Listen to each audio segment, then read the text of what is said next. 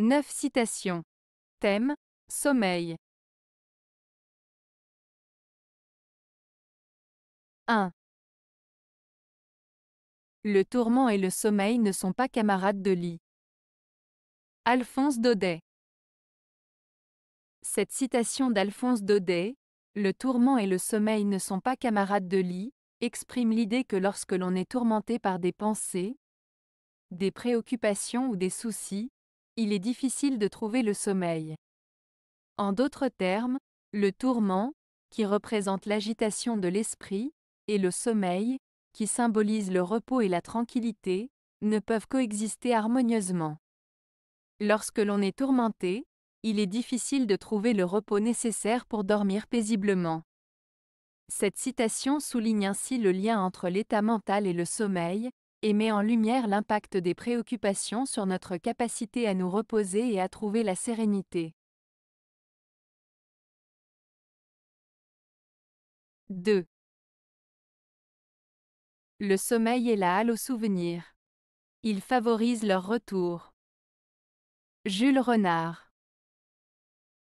Jules Renard, écrivain français du XIXe siècle, a dit Le sommeil est la halle aux souvenirs. Il favorise leur retour.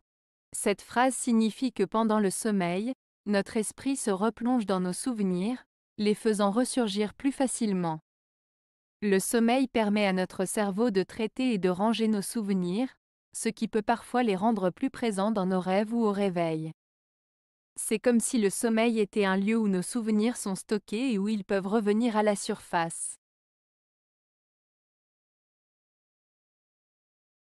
3. Il n'y a qu'une chose qui me réussisse, c'est de dormir. Tristan Bernard Cette citation de Tristan Bernard signifie que la seule chose qu'il fait avec succès est de dormir. Cela peut être interprété de différentes manières, soit comme une plaisanterie sur sa paresse, soit comme une manière de dire qu'il n'arrive à réussir que lorsqu'il dort, ce qui peut être une façon humoristique de souligner ses difficultés dans d'autres aspects de sa vie. 4. On ne dort pas pour dormir, mais pour agir.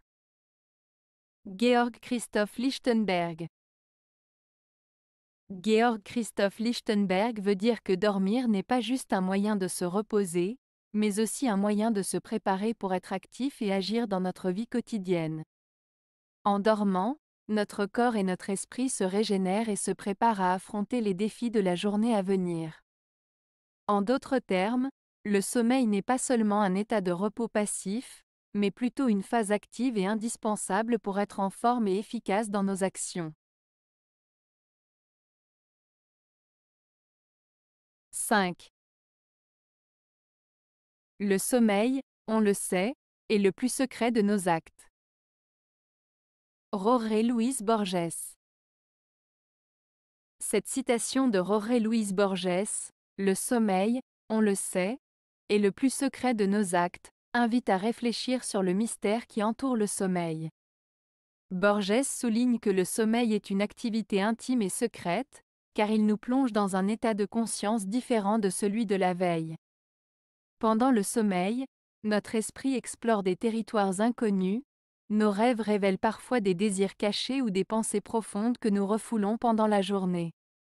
Ainsi, Borges suggère que le sommeil est un moment où notre être intérieur se dévoile, loin des regards extérieurs, et où se jouent des scènes secrètes qui peuvent nous échapper une fois éveillés. 6. Le sommeil est une sorte de protection, si paradoxal que cela puisse paraître. Samuel Beckett Samuel Beckett, écrivain et dramaturge irlandais, a dit Le sommeil est une sorte de protection, si paradoxal que cela puisse paraître. Dans cette phrase, Beckett suggère que le sommeil peut être perçu comme une forme de protection, bien que cela puisse sembler paradoxal. En effet, le sommeil est un état pendant lequel notre corps et notre esprit se reposent et se régénèrent, nous protégeant ainsi des stress et des tensions de la vie quotidienne. Cependant, le sommeil peut aussi être perçu comme une échappatoire ou un refuge face aux difficultés de la réalité. C'est cette dualité entre protection et évasion que Beckett met en lumière dans sa citation. 7. Le sommeil est encore plus parfait lorsqu'on le partage avec un être aimé. D.H. Lawrence